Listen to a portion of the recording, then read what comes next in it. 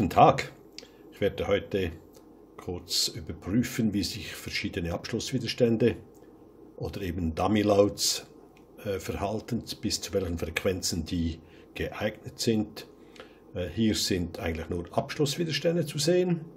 Ich habe bereits einen Directional Coupler hier aber vorbereitet und hier ist eine 5 Watt Dummy Load oder eben ein 5 Watt Abschlusswiderstand, wie Sie wollen. Die kleineren, diese da, die sind äh, nicht für hohe Leistungen gedacht, sondern nur für ganz, ganz kleine Leistungen, also im halben Watt Bereich. Dies ist ein SMA und das sind SMA, also SMA Anschluss und das sind zwei BNC Anschlüsse. Äh, dieser hier, dieser 5 Watt Abschlusswiderstand sollte eigentlich relativ hochwertig sein, ist auch mit einem SMA-Anschluss versehen. Den Directional Coupler, den ich hier verwende, ist von Minicircuit und der geht eigentlich korrekt bis 2 GHz.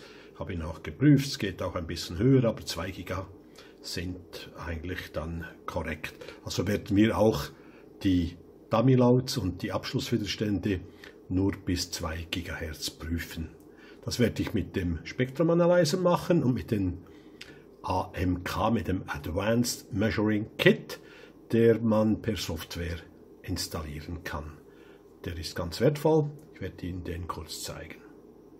Als erstes habe ich beim Spectrum Analyzer die Startfrequenz hier auf 1 MHz eingestellt und die Stopfrequenz auf 2 GHz, damit wir im Einklang stehen mit den Spezifikationen meines Couplers, der eben nicht höher geht. Jetzt haben wir aber hier die Möglichkeit eben, äh, das AM, erstens zuerst mal den, den äh, Tracking Generator einzuschalten, das mache ich hier, das ist mal entscheidend. Und dann müssen wir den AMK-Modus aktivieren. AMK, das ist der Advanced Measuring Kit und hier kann ich direkt jetzt SWR und Return Loss messen.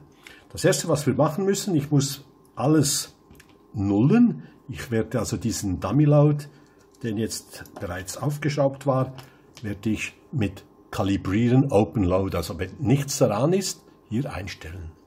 Damit ich eine Referenz habe, die eigentlich auch die Verluste der Kabel und so weiter ausblendet. Und jetzt stecke ich diesen ersten ein, der den wir gesehen haben, also mit diesen 5 Watt. Und jetzt können wir hier schön sehen, was hier passiert. Äh, der Marker ist, der ist hier, der Marker, und der zeigt direkt das VSWR an oder halt Return Loss. Sieht man auch hier. Und ich kann jetzt hier eigentlich mit dem Marker hin und her fahren und wir stellen fest hier, also mit einem S-Wert von 1,5 07, das ist natürlich hervorragend, also bis 500 MHz ist das äh, ein Spitzen Dummy-Load und jetzt gehen wir ein bisschen höher, also bis 1,115, das ist auch noch gut. Und schlimmstenfalls kann man auch noch 1,5 nehmen. Das ist etwa hier noch nicht ganz, jawohl, jetzt sind wir dann dort, hier 1, da hier 1,5, richtig, 1,5 und wir haben dann 1,3 GHz. Also dieser Dummy Load wäre für kleine Leistungen, also bis 5 Watt, auch durchaus im höheren äh, 23 cm Band im Amateurfrequenzbereich tauglich. Äh, das ist eigentlich der beste, den ich habe. Ich werde jetzt den äh, kleineren, den SME 50 Ohm Widerstand anhängen. Mal schauen, was der da äh, leistet. Ja, ein bisschen gar nicht so schlecht. Also ich bin jetzt immer noch bei 1,4, der ist ein bisschen besser. Also wenn ich jetzt auf 1,5 gehe hier, ungefähr hier, jawohl, habe ich auch 1,5, irgendwie 1,45. Hier, jawohl, genau, habe ich äh, als Grenzfrequenz, der ist also noch ein bisschen besser, ist aber nicht als Leistungs-Dummy-Load gedacht, sondern nur als Abschlusswiderstand. Jetzt gehe ich zurück auf äh, die extrem guten Werte, also wirklich kein ein hoher Return Loss ist, also bei 30 dB ungefähr. Das ist hier der Fall.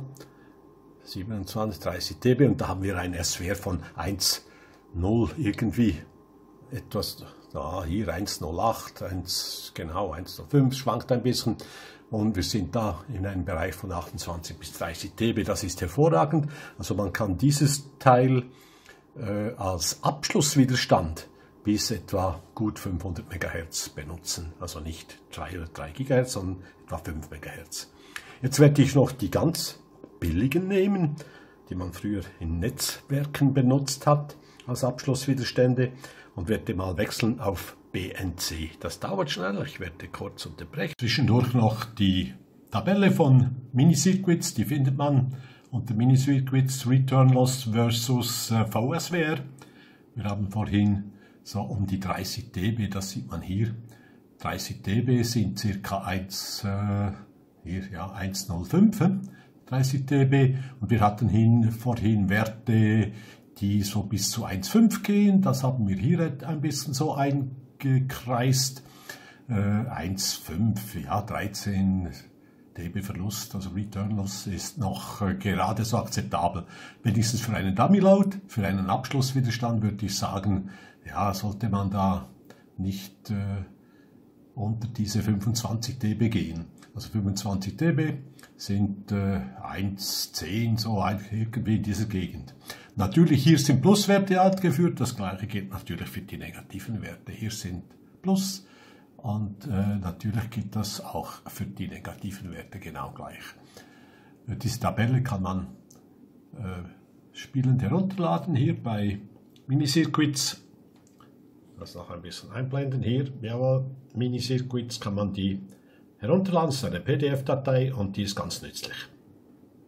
Am Directional Coupler habe ich einen BNC-Adapter angehängt. Damit das korrekt ist, mache ich Reset und kalibriere noch einmal, damit das auch dieser Adapter in die Unsicherheit einbezogen wird. Jetzt werde ich den ersten anhängen und jetzt sieht man schon ein bisschen Unterschiede natürlich. Also wir sind jetzt bereits bei 1,2. Also dieser Abschlusswiderstand, wenn man da unter 1,1 geht, ist dann nur noch bis etwa 200 MHz tauglich als Abschlusswiderstand. Das ist dann schon nicht mehr so gut. Also schlimmstenfalls 1, 1,5, aber das ist für einen Abschlusswiderstand dann schon viel zu hoch. Man sieht auch, dass die Rampe relativ steil ist, also brauchbar richtig so bis 1,10 so ungefähr, bis 200, 300 Megahertz, also nicht mehr. Das war äh, der, die Variante hier, das war dieser Abschlusswiderstand. Und jetzt kommt noch der andere, also dieser Grünhütchen, der sollte ein bisschen besser sein. Und ich werde den nochmal anschließen. Ja, man sieht schon jetzt, also die äh, Kurve ist flacher hier. Ist doch schon um einiges flacher. Also wenn wir jetzt da hinübergehen, ist dieser Abschlusswiderstand dann deutlich für höhere Frequenzen bereits gut geeignet. Also irgendwie bei 600, ja, bei 600 Megahertz. Und dann steigt es an, nicht so steil wie beim anderen. Also wenn ich da auf 1,5 gehe irgendwie, Größenordnung, jawohl, dann bin ich doch schon bei über einem Gigahertz, knapp bei der Frequenz äh, im Amateur 23 cm Band. Aber diese Abschlusswiderstände werden nicht für Leistung gebraucht. Also als Abschlusswiderstand kann man den sehr gut gebrauchen für irgendwie 500, 600 MHz.